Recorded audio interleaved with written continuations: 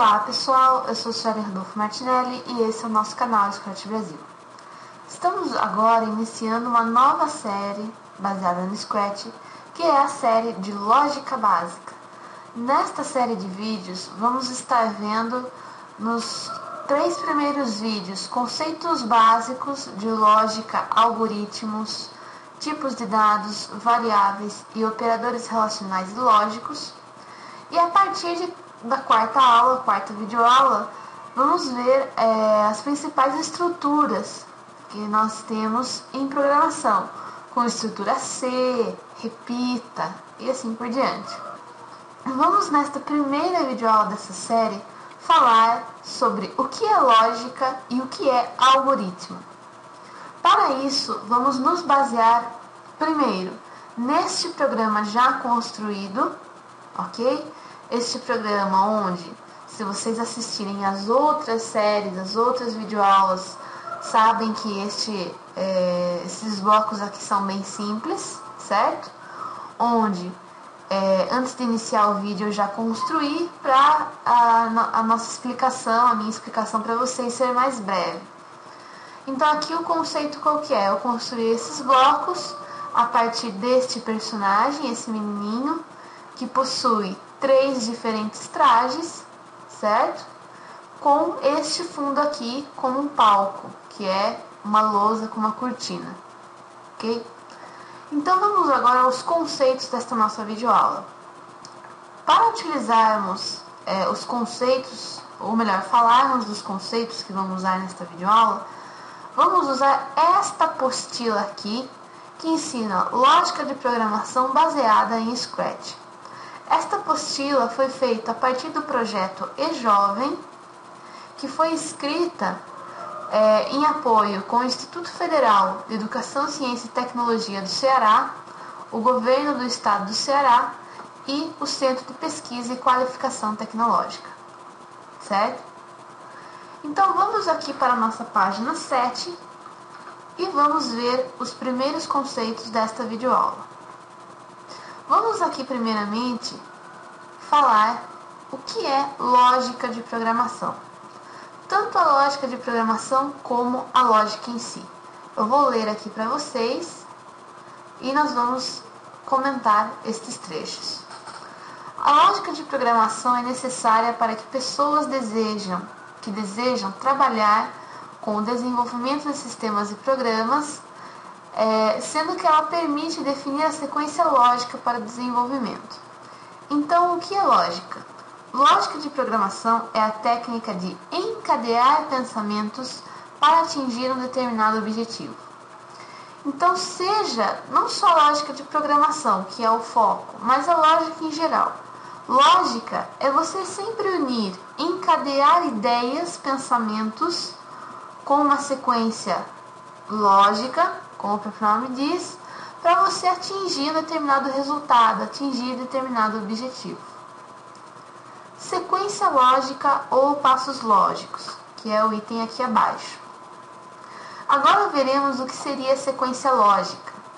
Os pensamentos encadeados para atingir determinado objetivo podem ser descritos como uma sequência de instruções que devem ser seguidas para se cumprir uma determinada tarefa. Podemos então falar que sequência lógica são passos executados até atingir um objetivo ou solução de um problema. Então, como eu já falei anteriormente, a lógica em si, como a sequência lógica, vai servir para nós sempre para isso, para que os meus pensamentos fiquem encadeados, um na ordem do outro, um com uma sequência lógica do outro para que eu consiga atingir o meu objetivo ou resolver o meu problema, encontrar a solução de um problema, certo? Com isso, o que podemos dizer que são instruções?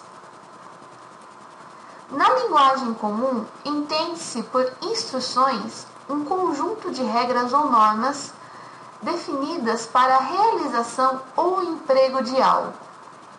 Em informática, porém, instrução é a informação que indica a um computador uma ação elementar a executar.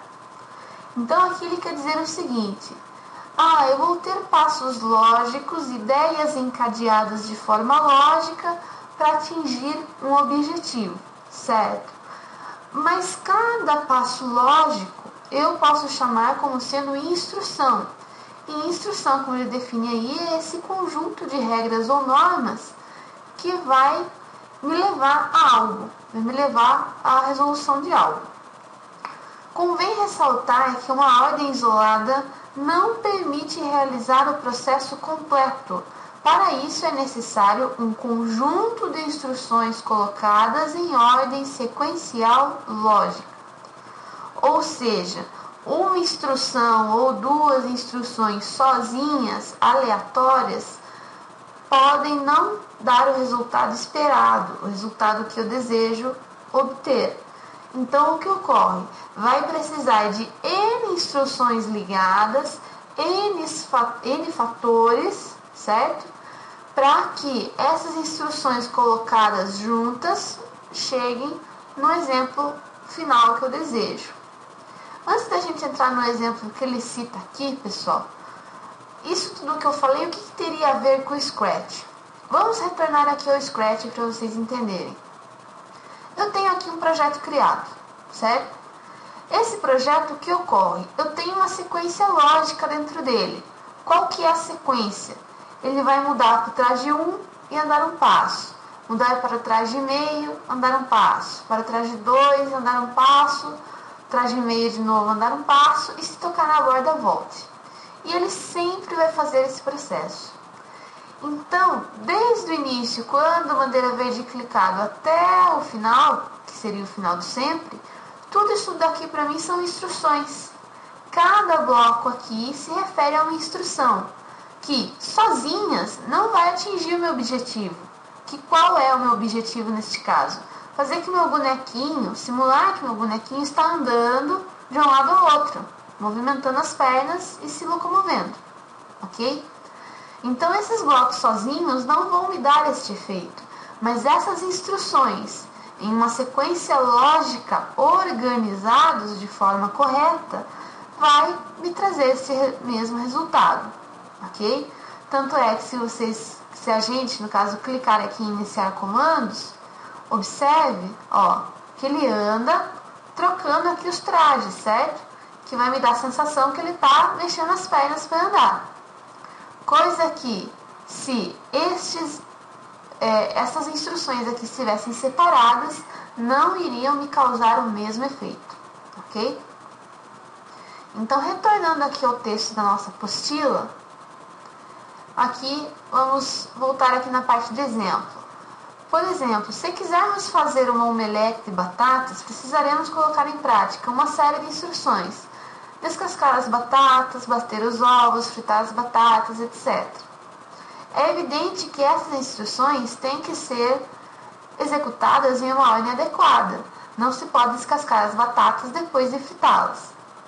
Então vocês já começam a perceber aqui é, a importância de se ter uma sequência lógica, ok? Porque até em ações do dia a dia, por exemplo, igual ele cita aqui, a questão da omelete, você não vai poder fritar a batata para depois descascar, certo? Então, isso são sequências lógicas, que é o que nós aplicamos nos nossos projetos em Scratch e na programação em si. Desta maneira, uma instrução tomada em separado não tem muito sentido. Para obtermos o resultado, precisamos colocar em prática o conjunto de todas as instru instruções na ordem correta que é exatamente o que a gente acabou de dizer e o que vimos no Scratch. Ainda continuando aqui com instruções, instrução, instruções são um conjunto de regras ou normas definidas para a realização ou emprego de algo. Informática é o que indica a um computador uma ação elementar a executar. Ou seja, cada instrução vai indicar ao meu computador ou ao meu programa o que deve ser feito. Como é o caso do Scratch, retornando aqui no Scratch no nosso projeto aqui já feito. Ou seja, cada instrução aqui vai indicar ao meu software que este personagem vai mudar para este traje e andar um passo, depois mudar para este e andar outro, assim até bater na borda, ok? Então essas são instruções que vão me dar, é, ou melhor, vão dar entendimento ao meu software, entendimento ao meu computador para realizar o que eu desejo e chegar ao meu objetivo. Continuando aqui na apostila, vamos ver agora a definição de algoritmo. Aqui. Um algoritmo é forma, formalmente uma sequência finita de passos que levam à execução de uma tarefa. Lembrando, pessoal, ele falou ali sequência finita, ou seja, é uma sequência que tem fim, nunca pode ser infinita, certo? Então, o algoritmo sempre terá início, meio e fim. Podemos pensar em algoritmo como uma receita, uma sequência de instruções que dão cabo de uma meta específica. Ou seja, aí o que ocorre? Ele está querendo dizer que todo esse conjunto de instruções em ordem lógica nada mais é do que um algoritmo. Representa para nós, da área de informática, um algoritmo. Estas tarefas não podem ser redundantes nem subjetivas na sua definição. Devem ser claras e precisas. Ou seja, quando você vai montar um algoritmo, você nunca pode ser repetitivo, que é o redundante, e nem ser subjetivo, ou seja, meio termo. Ou você vai fazer uma ação ou você não vai fazer uma ação. É sempre instruções claras e precisas. Como exemplos de algoritmos, podemos citar os algoritmos para a realização de operações básicas: adição, multiplicação, divisão e subtração, de números reais, decimais e etc. Outros exemplos seriam os manuais de aparelhos eletrônicos, como um videocassete que explicam passo a passo como por exemplo gravar um evento. Até mesmo as coisas mais simples podem ser descritas por sequências lógicas. Então perceba que este conceito, pessoal, de algoritmo, que é a sequência lógica em si, eles se aplicam diariamente no nosso dia a dia, certo? Ah, receita de como se fazer um bolo, ou manuais eletrônicos, toda essa sequência lógica para se usar algo ou se fazer algo a gente encontra claramente no nosso dia a dia. E é exatamente isso que aplicamos no Scratch, ou que aplicamos em qualquer outro software a nível de criação de projeto, a nível de programação. Em outras palavras, podemos falar também que é um processo de cálculo matemático ou de resolução de um grupo de problemas semelhantes, em que se estipulam com a generalidade com a generalidade e sem restrições. Podemos dizer também que são regras formais para a obtenção de um resultado ou da solução de um problema, englobando fórmulas de expressões aritméticas. Então aqui ele está dando um conceito mais bem definido do que é algoritmo na visão é, de informática, na visão matemática. Porém, ah, o que devemos lembrar sempre é que algoritmo que é essa sequência finita de passos que, sendo essa ordem lógica bem montada, ou seja, montada de forma lógica, vai me levar à execução de uma tarefa ou vai me levar a atingir determinada é, solução, ok? Então, é, aqui ele está dando um exemplo de um algoritmo certo? Esse exemplo de algoritmo ele nos diz o seguinte: os algoritmos estão presentes no nosso dia a dia em coisas simples, como por exemplo, ao escrever ou abrir uma porta. Temos como exemplo de um algoritmo. Por exemplo, aqui seria um caso de algoritmo. Na solução, no problema, por exemplo, de algoritmo, abrir uma porta, o que eu vou ter que fazer? Primeira instrução, aproximar da porta. Segunda, abaixar a maçaneta. Terceira, puxar a maçaneta com ela abaixada. Então, isso para mim seria um exemplo de algoritmo. Mas vamos voltar este exemplo ao nosso projeto em Scratch aqui criado. Vamos vir agora para finalizar o nosso, a nossa videoaula na estrutura principal de um algoritmo. O que, que é estrutura principal de um algoritmo? Nós temos, eu até copiei esse item aqui no bloco de notas para explicar melhor para vocês. Estrutura principal do algoritmo, ela sempre terá início, meio, que são essas duas linhas aqui, e fim. O início. O que, que é o início para nós no Scratch? Vamos voltar aqui no Scratch. Quando bandeira verde clicado, quando menino clicado, menino é o nome do meu personagem aqui em cima, certo, pessoal? Então, quando menino clicado, quando tecla espaço pressionada, ou quando eu ouvir algum som, aqui no caso, todos esses blocos me indicam início no algoritmo, certo? No caso, início do meu projeto aqui criado. Então, vamos apagar aqui esses blocos e vamos retornar a nossa apostila. Vou até abrir, abrir o bloco de notas aqui que é mais fácil. Em seguida, o que, que ele mostra pra gente? O início seria isso. Mas aqui o que ele quer dizer? Que eu sempre tenho que ter declarações de variáveis e depois comandos. Bom, comparado ao nosso exemplo aqui, ao nosso projeto feito aqui no Scratch, nós poderíamos dizer que os comandos é tudo que está aqui acima. Tudo que está aqui acima, dentro do meu bloco sempre, que é o bloco mude para trás de tal, mova um passo, mude para trás de tal, mova um passo, assim por diante, tudo isso se refere aos comandos do meu algoritmo, certo? Tudo isso são comandos. E essa parte aqui do fim, pessoal, é, ele se refere ao final do meu bloco de algoritmo criado, do meu conjunto todo de algoritmo feito. Então, o que acontece? Por exemplo, essa área aqui do sempre, vocês já perceberam que ele não tem um encaixe aqui, aqui embaixo, ou seja, ele fica reto. Então, isso indica para mim como se fosse o final do meu algoritmo. Perceba que estruturas como sempre e sempre ser, ambos também da categoria controle, é, no final é, essa parte lisa, onde não há encaixe com outro objeto.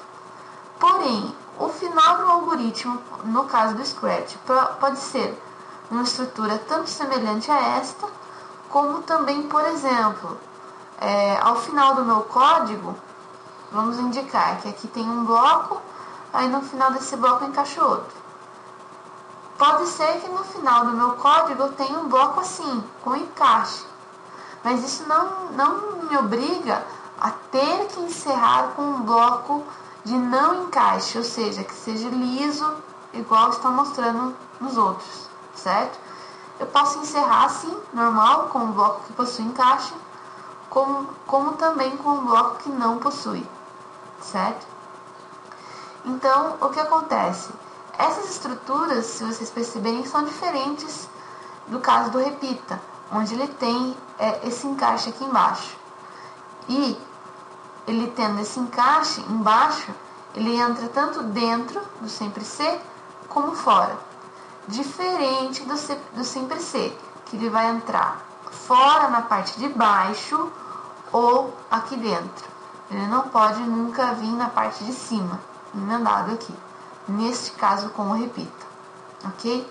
E lembrando só mais dois itens, que como já falado da, do item de início, todos os blocos que se referem a início possuem esse baulado, essa curvatura aqui em cima, onde todo bloco da categoria controle com essa curvatura me indica início de algoritmo, ok?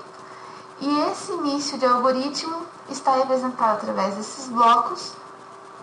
E além disso, este item aqui de declaração de variáveis, nós ainda não veremos nessa videoaula. Veremos em videoaulas futuras, onde falaremos é, dos tipos de dados e dos tipos de variáveis. Então essa foi a nossa primeira videoaula da série de lógica básica, onde falamos de lógica e de algoritmo. Espero que vocês tenham gostado e até mais!